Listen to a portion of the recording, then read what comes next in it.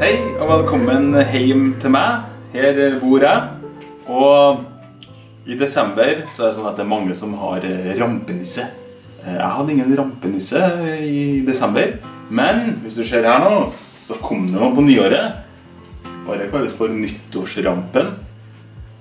Jeg er ikke helt sikker på hvorfor eh, hun vil hete det. For at hun har vært så snill og grei. Har ikke gjort noe rampestrekk i det hele tatt. Så nå tenkte jeg så vi gå og bytte bleie. Eh, Det må, må jo til når eh, dattera mi har tissa ikke sant, i bleien, så jeg skal gå og bytte litt bleie. Skal vi se. Se om vi finner bleiene da, inne på rommet her. Her ligger bleiene, vet du.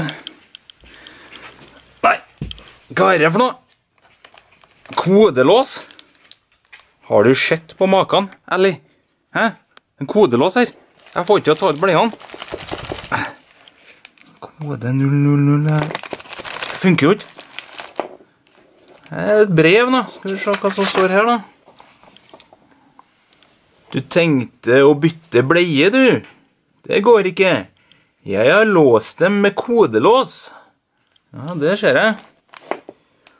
For å låse opp må du løse regnestykket 97 pluss 92. Ok. Svaret på regnestykket er koden til kodelåsen.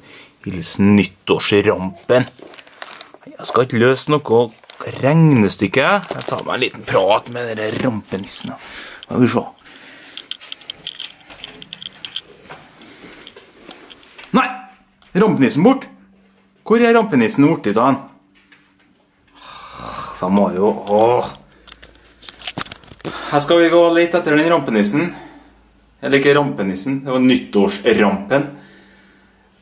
Mens jeg gjør det, så tar du og prøver å løse koden. Kan hjelpe meg med det. Vær så snill. Takk skal du ha.